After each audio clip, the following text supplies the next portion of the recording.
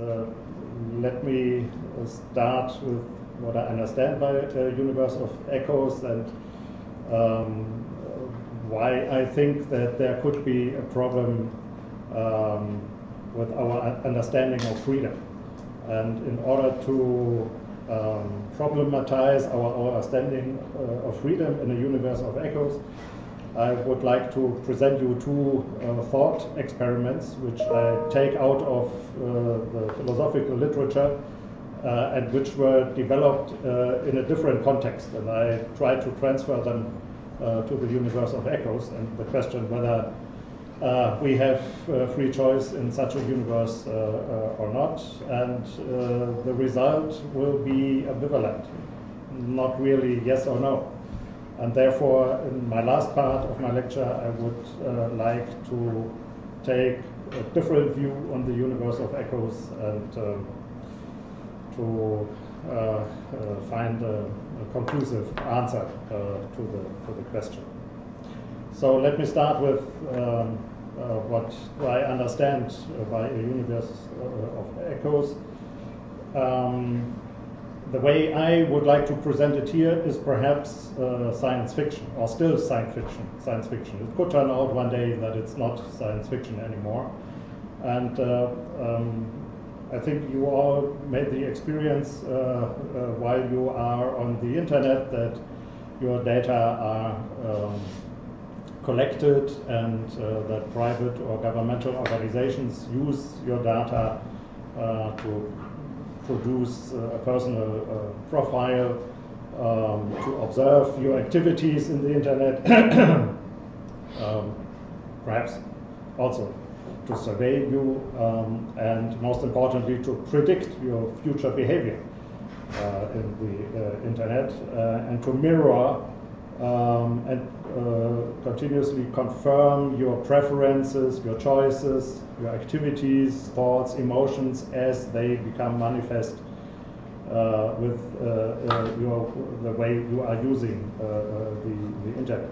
And this is, of course, very effective and very interesting, for example, for private organizations, for companies who design uh, your internet environment um, in such a way that it mirrors your wishes and preferences, and so they are offering your products uh, according to the profile they have uh, constructed uh, of you, and uh, of course uh, they hope that you say, ah, well, ah, that's what I always wanted, that's a good idea, and so you buy it. And, so the, the company uh, much money. But of course, it could, can also be used for uh, political uh, purposes or for governmental uh, purposes in order to design your uh, internet universe in a way that you behave in a certain way uh, and to avoid divine behavior or something like that. Um, so that's the, the one kind of a universe of echoes. The other kind uh, I would like also to consider as a universe of uh, echoes uh, are the social networks like Facebook and Twitter and, and others. Um, because um, many people um, use these networks um, in order to look for other people um, who share their worldview or share their preferences and interests and who always confirm each other in having these interests and, and preferences. Um, and uh, you all know the, the, the likes you can uh, uh, put on certain presentations of persons in the internet. And liking is, of course, uh, uh, a reaction which you uh, like most because it confirms you in the way you are presenting you in the internet and confirms yourself and you get admiration and recognition and all that. And then there are, of course, uh, some, some groups or closed groups um, which are constituted by a shared view on certain issues, um, on political issues, for example, on migration or uh, other things uh, or common interests. And these groups uh, mostly also work in such a way uh, that, they, that the members um, share the same ideas or the, the same opinion, opinions on certain issues and always confirm each other that they are right in having these opinions and all the others who have different views, they are bad people and uh, and so on. So one always uh, draws the limit between them and us, and we share uh, certain views, and they have the bad views. Um, so they encourage each other to maintain and to defend their view. Now, what could be the, the, the consequences? I mean, um, one consequence, of course, is uh, that uh, it always happens that these people are confronted with information or with views uh, which are different, uh, which do not coincide uh, with what, what they are thinking. And a universe of echoes allows these people um, to cope with dissent and dissonance by uh, confirming each other that they are that they have the right view, that they can ignore uh, dissonance and, uh, and difference or contestation uh, um, by having such a universe. You can say, well, outside there are these people, they have the bad beliefs, they have the wrong view. Uh, we have the right view and we share this view and we always uh, confirm each other that our view uh, is right. So that's perhaps one of the reasons why conspiracy theories um, are often found in some of these groups uh, uh, where you uh, ignore certain facts or certain objections uh, to the way you see the world or uh, the, uh, your opinion which you have on certain political issues. and of course, this is added to this is the, the idea that some bad people manipulate or manage everything so that uh, uh, uh, some people have uh, the wrong view, but we know better. We have the insight in the real uh, uh, world, and we know that there are some bad guys mani manipulating everything, and you can always reconfirm this view in such a universe of echoes. Um, so that's so my, my, my view on the universe of echoes, one could say, is perhaps a, a, little bit radical and different from what we have here and now. So that's why I said perhaps it's still science fiction. So for, for my argument, I presuppose that these universes of echoes are closed. Uh, that there is no, that perhaps we, we uh, live in different universes of echoes, but they are closed. So we, we try to avoid any crash with uh, reality. Um, and if one uh, takes it, in such a way, one could say, could ask, uh, what are the consequences uh, of these universes of echoes to our freedom? So the central question I would like to deal with is, um, when we make choices in the universe of echoes, can we still say that uh, uh, these choices are free uh, choices um, or not? Um, so just to remind you on a similar uh, experiment uh, showed in a film. Perhaps some of you know the film The Truman Show, uh, where someone grows up in, in an artificial world which is constructed around him. Uh, and uh, this world or this universe is made by a huge television company in order to have a, a show uh, where everybody could look at this poor guy. He himself, who does not know that he is living in such a universe, thinks he is a very lucky guy. Uh, because everything is fine in this world. Uh, he's the only one who does not know that, that this is uh, uh a designed uh, world uh, for him. And of course, the, the economic reason for having this show is that um, all the other members uh, uh, who participate uh, surrounding him in this universe, they always in, in, in, certain phases have to have to show products. Uh, oh, we, these are wonderful cornflakes and so on. So, and all the the, the, the, the people who uh, view these uh, this show on TV, they are encouraged to buy these these products while seeing the show. And in the end of the film, I mean, he he uh, finds a way out of this uh, universe and has really uh, nearly traumatic experience while realizing that he grew up in such a designed world. So that's perhaps a certain similarity. Universes of echoes are designed worlds uh, in which we live. And uh, uh, one could also ask whether this poor guy, when he made a choice in this universe, whether this was a free choice or, or not. So now my two thought experiments. Um, the first one I take from Harry Frankfurt, um, uh, from an article uh, uh, called Alternate Possibilities and Moral Responsibility published in 1968. Um, and Harry Frankfurt in this article tries um, uh, to argue against uh, uh, the, uh, the idea that there is a close relationship between um, having alternate possibilities um, when I make a decision and, uh, and moral responsibility. That having alternative poss possibility is a, is a necessary condition uh, for uh, um, uh, being morally responsible for the choice which I which I make.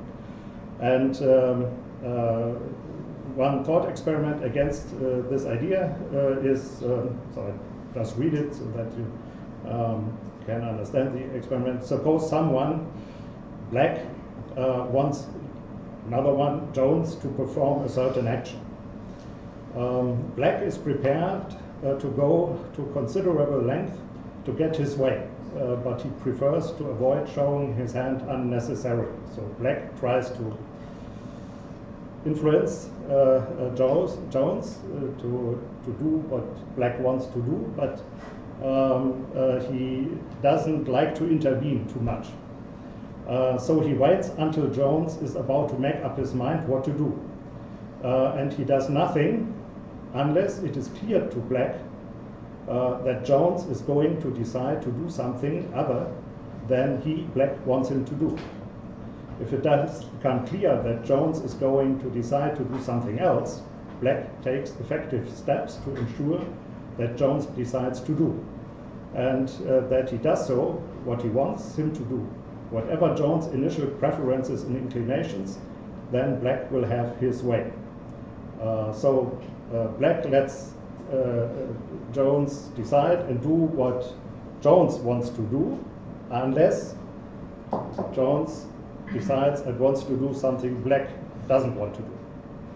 And of course, for this thought experiment, the interesting question is um, uh, uh, it's obvious that um, Jones has no alternate possibilities.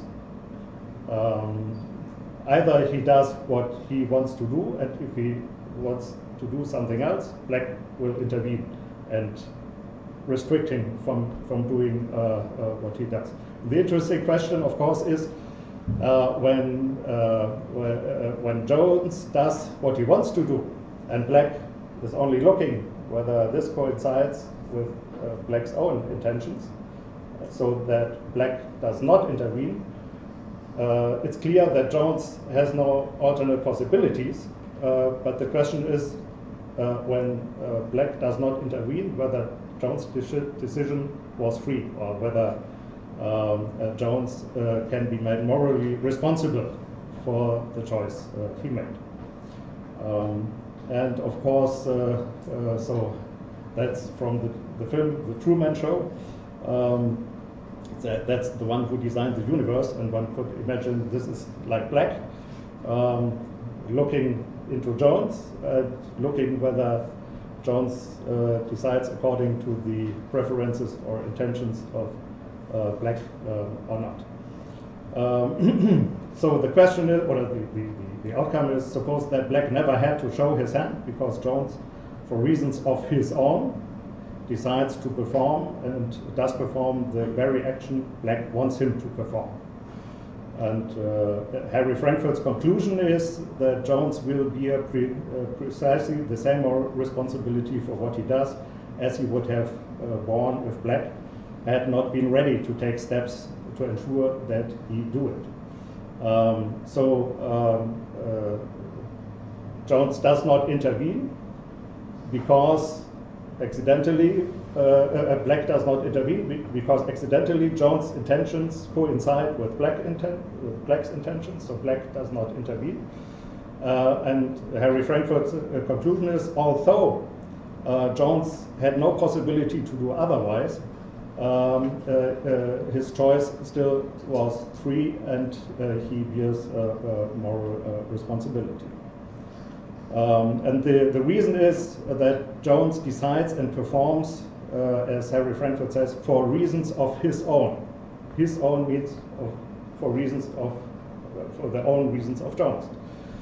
Um, and if he does it of his own, he did it because that was what he, Jones, really wanted to do then he is, uh, uh, his moral responsibility for doing it is not affected by the fact, fact that Black was lurking in the background with sinister intent, since this intent never comes into play. Um, and so he was free to decide and to do what he, Jones, wanted. Although Black was in the background looking whether uh, uh, uh, he does, uh, whether Jones' intentions coincide or correspond to um, Black's intentions. Um, so if we try to transfer this thought experiment to the universe of echoes, uh, one could perhaps say, um, so when I'm in a universe of echoes, um, and uh, also this is a designed world, um, so it's not so much that someone is looking into me and uh, like uh, like Black, um, but uh, it's it's around me, the world in which I move and think and make my decisions um, is designed by someone else. Uh, one could nevertheless say when I decide and do what I want to do, um, I'm free to decide and to do it, and so I'm morally responsible, even if the world in which uh, I decide uh, is designed by someone else. Um, and in a way that predicts and mirrors my wishes, preferences, emotions, uh, and so on. So the fact that I'm in a designed universe, um, uh, uh, according to this uh, thought experiment, one, one could draw the conclusion that this does not really affect uh, my, my freedom of choice, and in addition, consequently, not my uh, moral, uh, moral responsibility, because um, until I make my choice in a universe of echoes as my choice, that, that it's my will, uh, then um, uh, it's still uh, uh, free. And in addition, so that, that's now a difference between the universe of echoes and, and Harry Frankfurt's thought experiments. In addition, one could say that the universe of echoes is also designed according to my own preferences and predictions about my future wishes, um, uh, and it mirrors myself. So it's even more of myself in the universe of echoes than in Harry uh, uh, Frankfurt's uh, uh, thought experiments. And one could even, uh, Christoph Burchard this morning told me, one could even think about a universe of echoes which reveals my true preferences, which I did not know until now, but by the, all the information I get in this designed uh, universe, I realize, ah, I know this, uh, this is my true self, my true uh, uh preferences. Uh, and when I make a decision uh, in, in, such a universe, it could be that it's even more my own decision, my view, according to which I, um, I make a choice. Of course, the open question is um, what or who is the self that wants uh, something in such a universe of uh, echoes? So, how is the self um, uh, uh which uh, produces intentions that I consider as my intentions, my own decision? How is this constituted and, and developed, developed? And um, uh, Harry Frankfurt gives another answer on that in another article on freedom of the will, where he has this idea of, of uh, wishes which uh, could uh, refer to my own wishes. So I can have a wish to have a certain wish. And if I have such a reflexive uh, stage, uh, I, I my will is free. But that's another issue. Um, so that's the first thought experiment. Uh, now I would turn, like to turn to a second thought experiment, uh, which uh, um, is not was not invented by Philip Pettit, the political philosopher, Um, but, but he makes, uh, uh, makes much use of it. And that's the, the thought experiment of the benevolent master and, and his slave. So imagine a slave and a benevolent master for example, in, in ancient Rome, uh, some Greek philosophers uh, from Athens, they were slaves for their masters in Rome, and these masters treated these philosophers, uh, slaves, uh, quite nice. Uh, uh, they were slaves because their master liked to talk to them and to have a certain philosophical educations, but nevertheless, they were slaves, so they were no equal human beings, but they were treated like property and could be sold board and, uh, and had no rights. Um, uh, so in Philip Pettit's uh, example, so the, the master lets his slave decide and do what he wants, unless the slave does something what the master does not want. When the master intervenes and prohibits the slave from doing uh, uh, uh, the slave wants. So a similar situation as in Harry Frankfurt's thought experiment. And uh, um, although um, uh, Philip Pettit draws completely different conclusions than Harry Frankfurt, I never saw in Philip Pettit's, uh, one of Philip Pettit's book, a reference to Harry Frankfurt.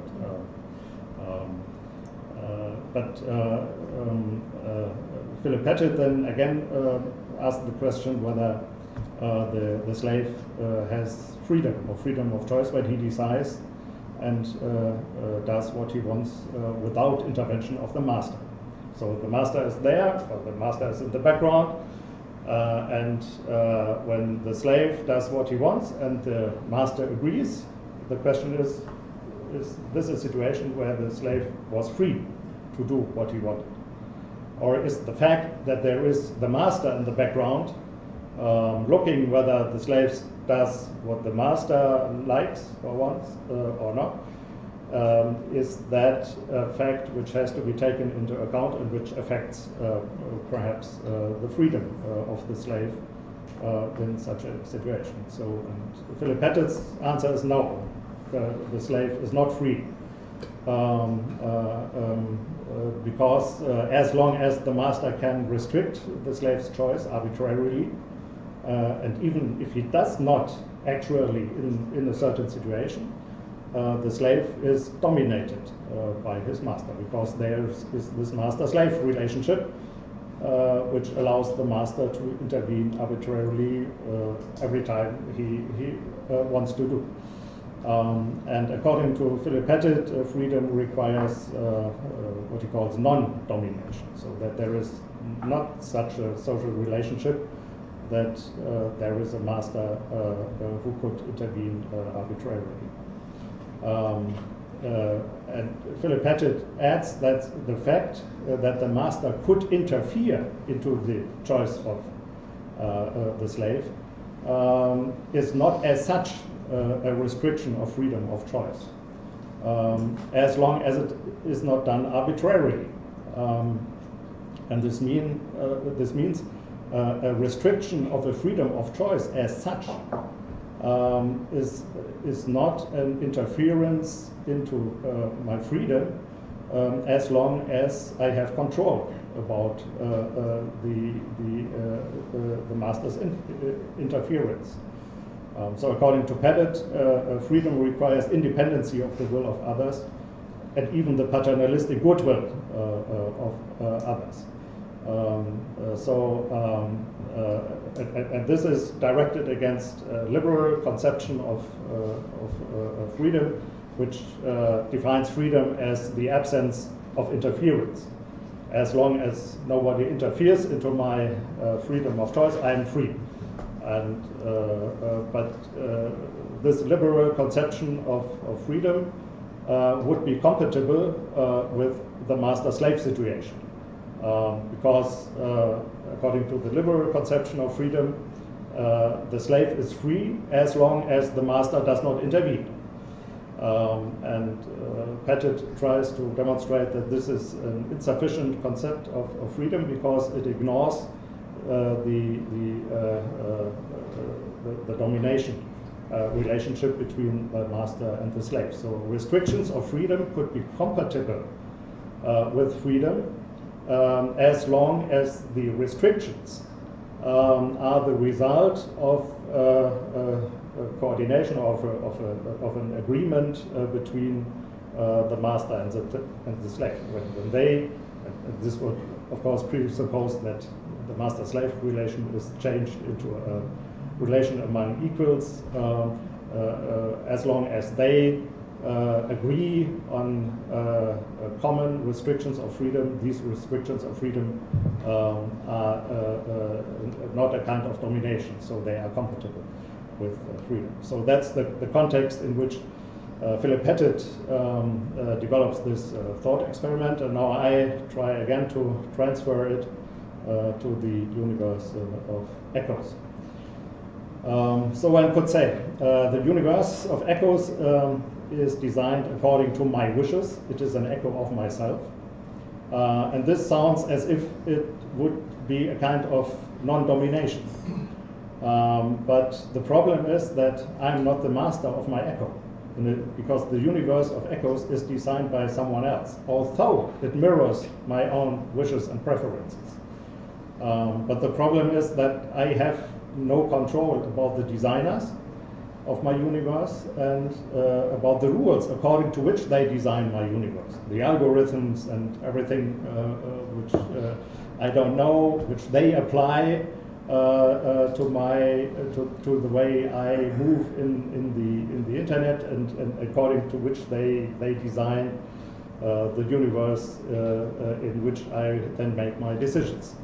So the so it it, it is um, something like a, a, a, a contradictory uh, outcome if one tries to apply this thought experiment to the universe of echoes, because one uh, one could say on the one hand the universe is my own extended and predicted self. It mirrors myself. Um, but at the same time, the self, uh, which is the mirror uh, in which I see my preferences and decide according to my preferences was not, not designed by myself but by others and their will, how they um, uh, uh, constructed the algorithms and other techniques in order to find out what are my real wishes and uh, present them as my wishes uh, according to which then I make my uh, decisions.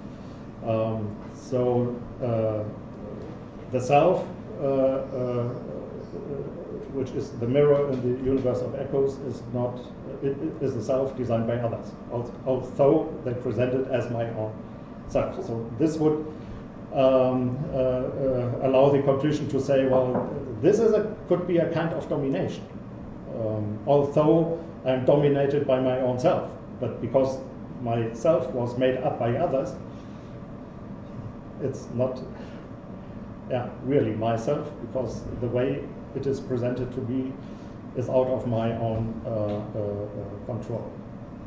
Um, so, in the conclusion, one, I, I, think it's difficult if one takes um, uh, Harry Frankfurt's thought experiments. Uh, one could say, well, there is no problem in the universe of echoes as long as I can say this is my decision. It's what I want to do it's a free choice. And uh, if one takes Philip Pettit's uh, thought experiment, uh, one say, well, it's, it's ambivalent. One could say the one direction, I'm free in a universe of echoes because it mirrors everything I want and what I think I am. But on the other hand, the way in which it is presented uh, and made up uh, uh, is dominated by, by others. So this would uh, allow the conclusion that I'm not free in a, in a universe uh, of echoes. So on the last part um, of my talk, I would therefore uh, try to take another uh, way to find uh, an answer uh, about freedom in a universe of echoes. And the problem I, I think is, has to be taken into account is a relationship between the freedom, freedom and the status quo. Um, of course, we know, um, and, and, we know from, from daily life that we are not always masters of our universe. Um, uh, and uh, that we often uh, uh, are looking for confirmations uh, of my of the views and preferences and wishes we have here and now today, and that we try to avoid cognitive dissonances, contradictory um, information or experiences which we then try to narrate by a certain narrative uh, to present in a way that it is compatible with our own preference. So that, that's our day-to-day situation, and we nobody would deny that. Nevertheless, we are more or less free when we make uh, a certain choice, unless we don't, we are not forced or uh, uh, uh under under strong repression and so on. Uh, but I think what is important is um, uh, uh, an experience we always have in, in the offline world, um, is that uh, while we are forming our preferences and wishes, we are often confronted with difference, dissonance, dissent, conflict, and struggles uh, uh, uh with uh, others. Um, for example, um, about the rules of cooperation in a shared universe. So that, that we try to cooperate and uh, to agree on certain rules we uh, think uh, to be valid for us. Oh, we often have dissent and contestation and conflict, so we have to um, to enter um, a certain relationship with others, with different experiences, and we have to cope with that uh, in order to form our, our, uh, our preferences. Um, and that's uh, uh, a different view on the self if one takes this uh, um, aspect seriously. and so one could say the, the status quo of my views, preferences, wishes, and of myself as, as such, they are outcome of a process. Um, and uh, they are always in a process, uh, not something substantial which is, which is uh, given at one time and, uh, and never changes, but it is always in a process. We are always changing our preferences. Some uh, more often, others only when we are in an existential crisis or something like that, when we are really uh, have to think about what I really want to do, what I really, how I really want to live my life. Um, but it's always in a, it's a dynamic uh, and not a static um, uh, uh, process. And only when I have make this, these experiences of dissent and, and conflict, um, I also learn to distance myself uh, from my own preferences and, and, and, the views which I have. I, uh, from this distance, I can uh, criticize my own preferences and wishes uh, and, and then change them or, or, reaffirm them. But this reaffirmation is, is, a, is uh, done from a different stage. Um, as if I uh, simply have a certain view and I, I keep on uh, defending this view and never think about that. this is certain kind of reflexivity uh, which we um, can uh, take uh, to our own views and wishes and, uh, uh, and, and, and, preferences, but we can get this reflexivity only by social experience, by having conflicts and different um, views from, from different people which, with which we have to confront us, which we have to face. Um, so one could say, well, freedom and, and, and the self uh, uh, is a dynamic uh, concept. and can find in, in the, history of philosophy a, a, lot of examples. So one could take perhaps two, Hegel and, and George Herbert Mead, um, who tried to defend the view that in order to be, really become free, you have to go into the world and uh, uh, have encounters with others and uh, the experience of difference and dissent uh, and even of failure, and then you learn to overcome your, your, your faults. And, this is what really makes a self possible which is autonomous uh, and, and, free. So for Hegel, uh, the I has to face uh, diremption, so not sure whether that's the correct uh, translation, Entzweiung, uh, and externalization, so it has to, also Entäußerung, it has to uh, uh, realize him or herself in the external world. And of course, this is a conflictual process uh, um, uh, with dissent and contestation, and then come back to oneself and with all these experiences uh, in the background, and then I, I have a true self and I'm, I'm free. For George Herbert Mead, it's the development of uh, the I, which encounters the other, and by uh, uh, having the experience that uh, I can see myself from the point of view of the other, and can by this have a different view on myself than I had before. I could become a me, which has a, this reflexive relationship to his or her own wishes, intentions, and preferences. So if one takes such a dynamic view um, of freedom and the self, uh, one could perhaps say um, that the universe of echoes mirrors a static view of the self. Uh, because differences, dissent, and conflict are only opportunities to confirm the static uh, view. Uh, and if there is any freedom in a universe of echoes, it is such a static uh, freedom, uh, or to say it more in a more radical version, it means I'm kept in the prison of my status quo preferences. Um, so that's that's my freedom. Uh, um, and one could say, well, this is a perhaps a kind of narcissism. So I'm always mirroring myself and uh, confirming myself, like uh, Narcissus uh, uh, mirrored himself in, in, in the water and was happy to see himself. Uh, in, in, the water. But this is static, as it is here and now, and it continues to be uh, static.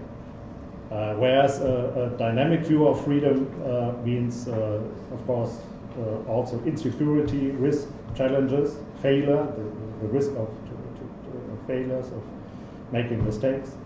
Uh, but of course, uh, entails also the opportunity of, uh, of learning processes.